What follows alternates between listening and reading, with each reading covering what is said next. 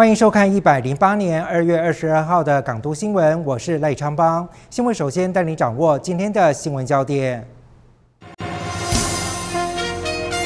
营造城市竞争力，高雄市政府携手合作高雄广播电台及地方有线电视，增加英语学习节目时段。韩市长表示，各行各业应加快双语前进速度，与国际接轨。高雄市政府将以两年时间全力推动双语环境。高雄市代理教师因为开学前遇到过年聘期被迫缩水，教师团体和市议员召开记者会，认为教育局不能因为财政困难罔顾代理教师权益。根据农业局统计，高雄市长韩国瑜积极争取国外长期订单，春节前外销市场热络，和去年一月同期比较，业绩成长一倍。今天港都热话带您关心，未来市府将如何争取更多订单，保障农民收益。推动高雄走向国际化，高雄市长韩国瑜相当重视英语能力。他的第一步做法就是要提高有线电视以及市政电台的英语教学节目时数。韩市长强调，市府推出的双语教学节目，主要是带动英文学习风气，慢慢营造城市国际化风格，希望整座城市风起云涌，随时随地都有机会学习英文。戴上墨镜，背着相机，高雄市长韩国瑜化身外籍游客，和问蒋大哥上演情境剧，要到著名的爱河，幽默内容轻松有趣，如此用心良苦，无非是为了推动高雄走向国际化、朝双语城市的目标迈进。台湾的土地大概只占全球的土地大概万分之三而已，我们的人口占全球人口大概千分之三，我们的工业产品相关产品大概占全球百分之三。那没有任何资源，只有万分之三的土地。可是呢，我们却要不停的让下一代往外去冲刺，没有中英文流畅的这个双语的基础，那怎么竞争呢？真的是没有办法。好的外语能力是城市竞争力的关键指标。高雄市政府新闻局与教育局共同携手，与高雄在地七所大专院校英语相关系所及中华卫星大车队合作，三月一日起在高雄广播电台量身推出七点五小时的双语节目。时间永远是不够的。那么本来的时段是高雄电台是有有在做没有错，但是市长说哎不搞啦，全天二十四小时。我说哎我们只播二十小时哦。那二十小时里头呢，又有很多的我们是一个非常。多元的城市，所以我们还有闽南语本来就有的节目，客家话，还有原住民语，另外还有印尼语，甚至还有泰语跟粤语的节目，所以它就是一个多元的节目。但是现在最大比例一个最 common 的共同语言就是我们的英文节目。另外，高雄市政府也整合有线电视公用频道和有线电视业者，营造英语学习环境。三月起将试出自制频道时段一到三小时，播出英语教学节目，提供市民朋友学习收看。语言是一个沟通的桥梁哈，那尤其是英文这一个语言，那高雄市我们要走出这个世界，要跟世界接轨，我想语言是非常的重要哈。那高呃，今年港都有线电视，我们也也在第四频道的每天晚上的五点到六点，我们会播出一个钟头的这样的一个课程。那也希望市民能够多多的利用，让我们高雄市能够更更有竞争力，让我们的下一代。更有呃发展的潜力。韩市长强调，市府推出的双语学习节目，主要是带动英文学习风气，慢慢营造城市国际化风格。他感慨，这些事早在二三十年前就该做了，所以现在要加快脚步，希望让整个城市风起云涌，随时随地都有机会学习英文。港都新闻李佳龙、罗少军采访报道。高雄市的代理老师因为开学前遇到过年，聘期被迫缩水。教师团体和市议员召开记者会，认为教育局不能因为财政困难，以一纸函式的公文罔顾代理老师的权益。市府教育局则表示，聘期是依照规定来办理，没有损及代理老师的劳动权益。代理老师的聘期在教育部专案补助下可以有完整的一学年聘期，但高雄市的做法却是以假日后的上班日为聘期的起始日。教师团体认为高雄市代理老师的聘期缩水是一式两制，以后只要遇到假期，就要在假期前结束他的聘期，所以他变成在假期后才开始聘期，假期前就结束聘期，这样前前后后他可能卡掉一个多礼拜。由于今年是过年后马上开学，市议员指出，原本规定起聘日是开学前一周，是设计让老师做开学前的教学准备。市府教育局为了让学校解套，以一纸函释罔顾代理老师的权益。难道原本教育局希望教师他在开学前提前备课？这个事情因为经历了过年就不会发生吗？代理教师他要去上课之前，他难道不需要在过年这段期间去做备课吗？没有完整一年的聘期的状况底下，其实他们每年呃大概都会有可能一一个多月是失业的状况的情况底下，还要再把他们的聘期跟薪水这样去缩减，其实是非常不人道的。市府教育局回应表示，代理老师的起聘日刚好在春节期间，没有到勤的事实。为了避免出现领薪水不上班的疑义，教育局才会韩文补充说明。港东新闻吴炳元、雷昌邦采访报道。高雄市长韩国瑜重视农民收益，积极争取国外长期订单。根据农业局的统计，春节前的外销市场热络，和去年一月同期比较，业绩成长了一倍。未来是否将如何争取更多订单，保障农民收益，让农民发大财？今天的港都热话带您一起来关心。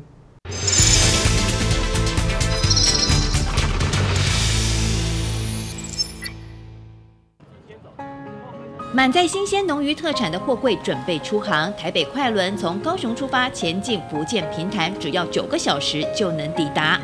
高雄未来所有产出来的好的产品。农产品、渔产品，甚至农特加工品等等，因为这个快轮像魔毯一样，帮我们穿梭在高雄跟平潭以及各个中国大陆的港湾港口，这是非常了不起。所以感谢我们台北快轮的首航，愿意帮我们把货物运出去，让我们货出去，人进来，高雄一定会发大财。高雄农业优质品牌在市长韩国瑜的助攻之下，今年一月底出口加拿大十四公吨的水果后，中国大陆也出了十三纸货柜，外销市场开出红盘。尤其一月正是高雄水果盛产期，包括番石榴、蜜枣和莲雾纷纷上市，质优味美，让韩市长赞不绝口。希望鼓励农民用心栽种，是否将作为农民最大后盾，帮忙卖出好价钱？有一个责任，一定要带领我们农产品。你外靠找到好通路，卖到一个价后价后的更小，这是我们的责任。所以各位大社地区所有的农民朋友，请相信我们，我们一定会全力以赴。你们专心的耕种，我们好好的来卖，大家好不？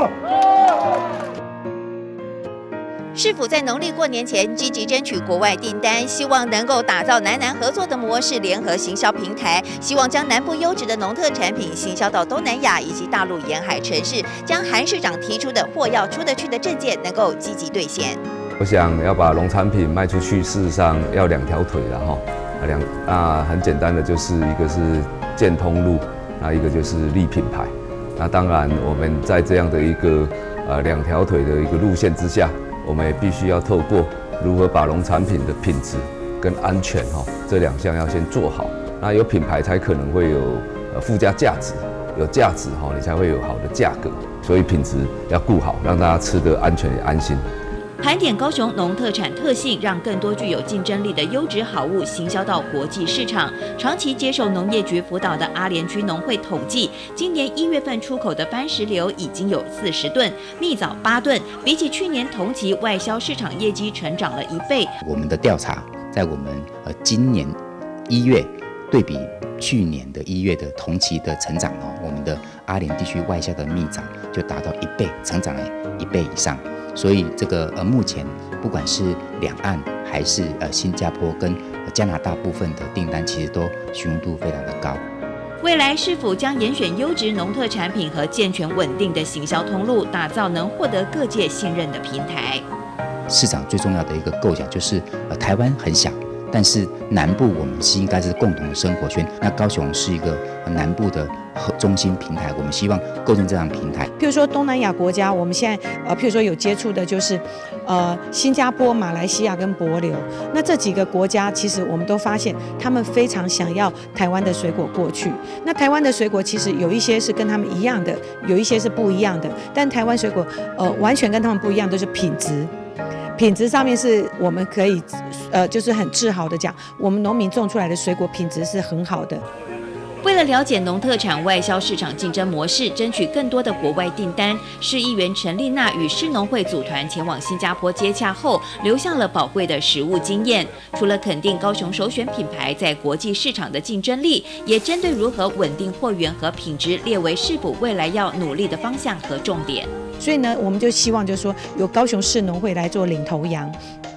集结所有的这个农会，然后处理他们的问题，比如说包装是问题，然后呢药检是问题，规格大小怎么筛检，各种的这个农从产地的农民，他可能只会懂得种，但是怎么样去包装，怎么样去出口这一块他们就不会，所以这个部分就必须要委托农会这边来协助，让他们在出口这块可以顺利。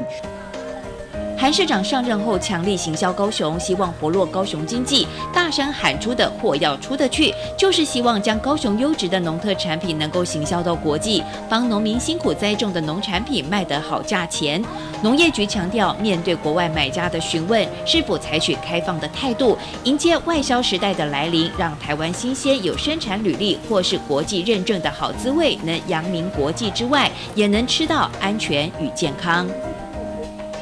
港都新闻李正道、黄兰君专题报道。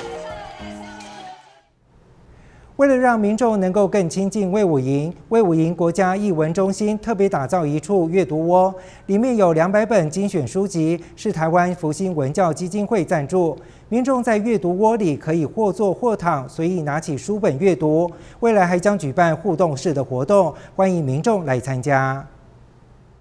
来到魏武营的阅读窝，可以或坐或躺，随手拿起一本书，不用任何借阅的手续，环境也相当的明亮，也增加来这里阅读的欲望。这一处阅读窝位在魏武营国家艺术文化中心三楼的树冠大厅，由台湾福星文教基金会以企业员工的减重数来赞助书籍数量，预计五年八百本，都是适合各年龄阅读的书籍。对啊，对啊，而且这蓝骨头真的很舒服，推荐大家来有空来坐坐。哎，那刚好知道说，哎，魏武营有这样子一个阅读窝的规划，我们想说，哎，那当然我们义不容辞，哦，就把我们同仁减重的成果，哦，转化为这样子的一个哦书本的。那这些书柜其实是可以。做的那我们在地上呃也安排了一些地毯，那事实上整区的这个地毯都是可以都是可以随意躺坐啊，这个每天都是有经过清洁的。以众人的艺术中心为初衷出发，希望民众来威武营不一定是买票看表演，也可以来这里看书。未来还将举办互动式的活动，民众可以随时前来阅读。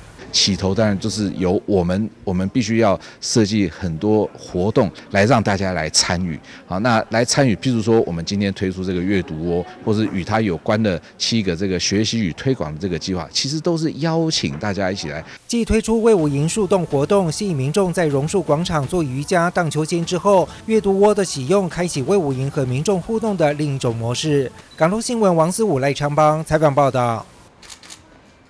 喜欢拍照打卡的朋友，在高雄又多了一个新地标，地点在捷运魏武营站出口。这是一位钢雕艺术家标下交通局旧公车处的闲置空间进行改造，运用大型复合式媒材创作，将闲置多年的老旧建筑华丽变身成礼物造型的一廊餐厅，还把这份爱的礼物送给女友，非常浪漫。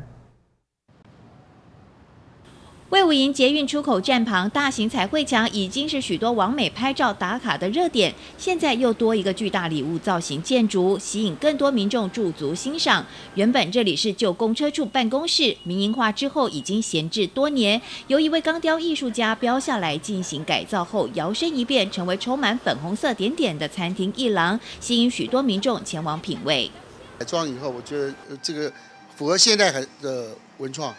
呃，所以说我们特别特也是特地来享用享用这一餐。您最喜欢这里面的哪一点设计？呃，我觉得应该是这这面吧，这个时候有这个绿，有这个呃绿呃绿意盎然的感觉。哦，因为我们刚好出来今天走村，然后走一走逛一逛，哎，感觉这家店还蛮不错的，很有人文气息。哎呀，氛围也很不错。哎，对啊，感受这个宁静。在这个交通局的这个空间的部分的话。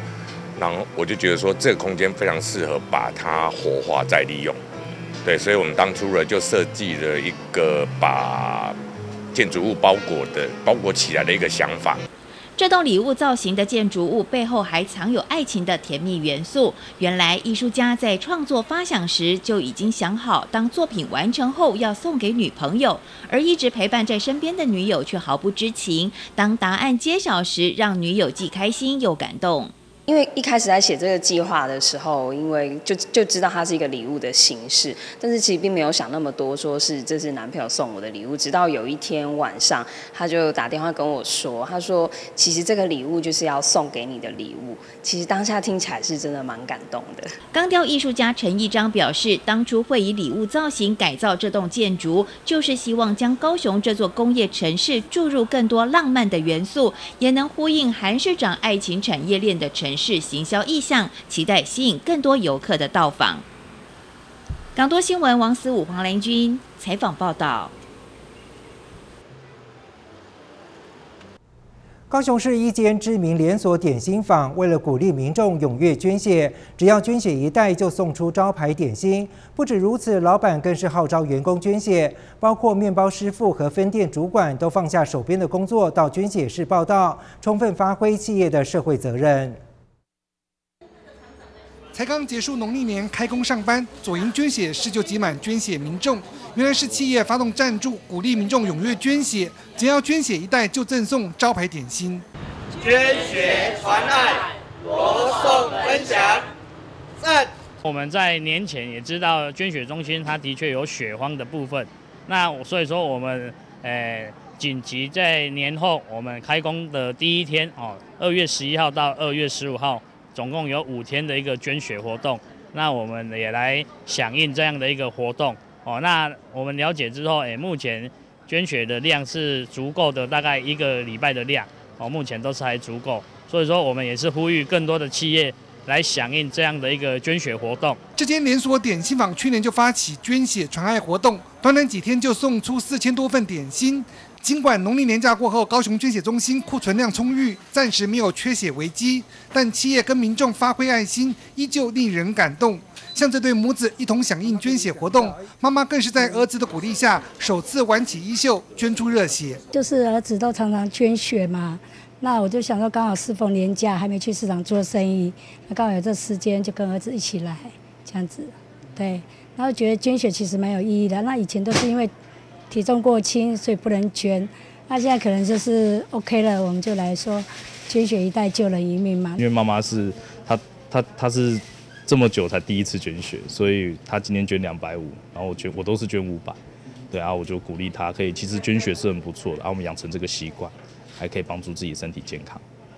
而点心坊更是全体总动员，不论是分店店长或是面包师傅，都放下了手边工作，响应捐血。那这一次就是公司有主办捐血的活动，那我们有鼓励同仁大家来捐血，那我们就带头先来捐血，这样子也也就鼓励，呃，就是大家可以一起捐血，呃，捐血救人。我一起来参参加这个活动，那就是说也。也鼓励大家多捐血，因为现在目前，呃，血库也缺急缺血，所以就是响应这个活动，所以会来捐血。捐血一代救人一命，虽然只是口号，但这间点心坊连续多年发挥企业社会责任，用最拿手的点心来感谢民众捐出热血，的确也值得肯定。港东新闻王四五潘之光采访报道。高雄市社区发展协会成立的武昌旺德福关怀据点，从开办到现在广受长辈欢迎。据点每周两天会带领长辈利用关节操和弹力带等运动做上下肢的伸展。理事长宋文山表示，希望借由据点开办的课程，促进长辈健康，预防失能失智，并且降低他们临终前的卧床时间，享受健康的晚年生活。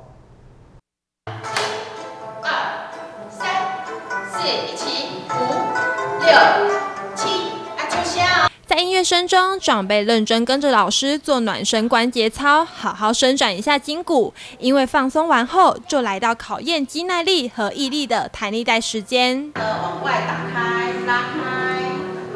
再回来。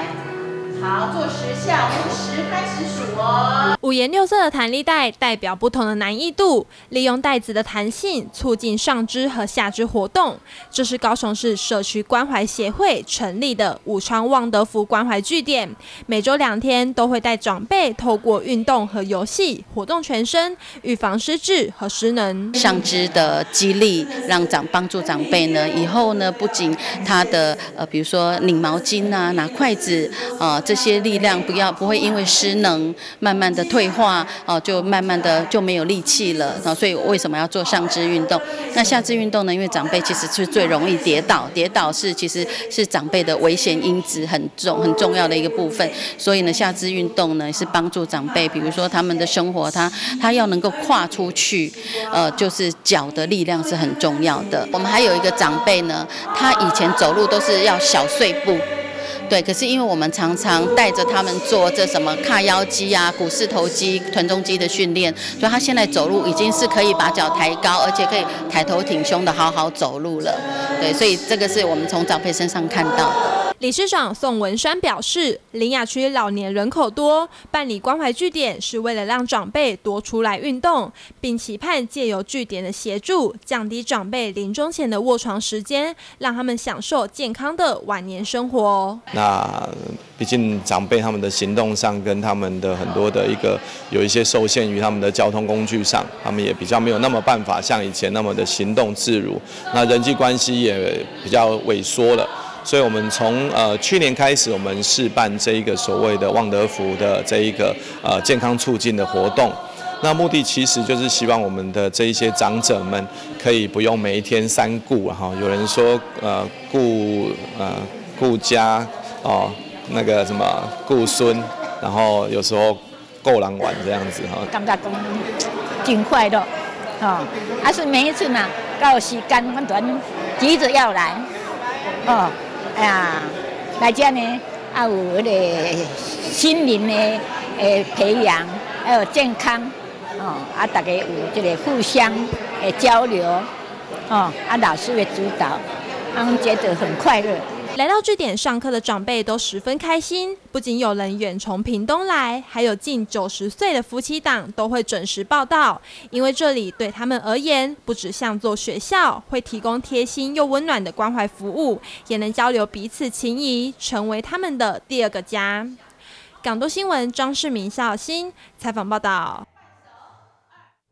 吃饭时咀嚼下咽，这样轻松的吞咽动作，对某些长辈来说可能不太容易。语言治疗师表示，长辈平时就要勤做吞咽健康操，不仅可以提前预防问题发生，也能够帮助已经出现吞咽困难症状的人复健，让进食变得比较顺畅。你可能想不到，在锅中熬煮的绿色果泥，其实正是有丰富营养的花椰菜。营养师像这样将食物磨制成糊状后，再做成新料理，不但可以帮助有吞咽障碍的长辈吃下不易下咽的食物，也能替代传统用果汁机打碎食物的方法，保存住食物的营养价值。高龄者他们会遇到的吞咽跟咀嚼上面的问题，我们把食物打成糊之后呢，我再经由日本他们所研发的一个叫做呃酵素焦化剂的东西，让它是可以再重新把它缩回它的一个形状。那尤其是呃这样子可以重回一个食物的形状之后，比较可以刺激食欲，也比较知道这个是食物，会比较想要吃。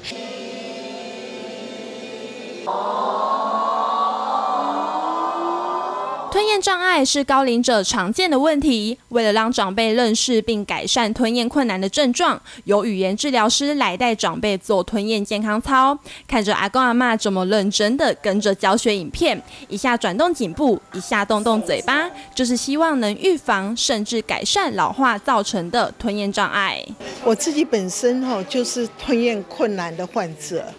啊，对我来讲是受益良多。好啊，我回去哈要尝试，要做做看。但是上迄课吼是对这脑啦吼，足足有帮助的啦。